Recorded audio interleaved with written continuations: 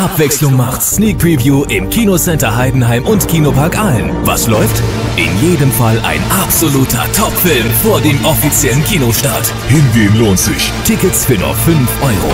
Mehr unter kino-hdh.de und kino-aa.de.